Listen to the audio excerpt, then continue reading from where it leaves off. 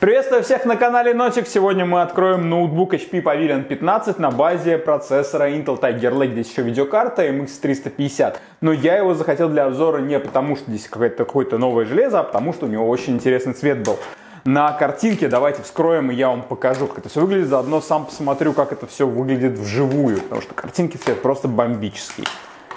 Да, стоит оговориться, что он еще у нас полностью из алюминиевого сплава сделан, поэтому должен быть вдвойне красив. Сейчас мы все это достанем и посмотрим.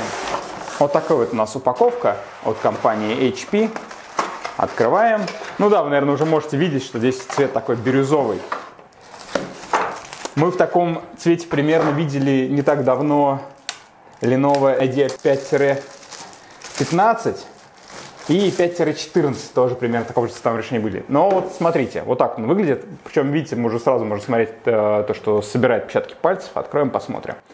Первое, что могу отметить, это огромный тачпад у ноутбука HP, что очень-очень необычно. Я к такому не привык.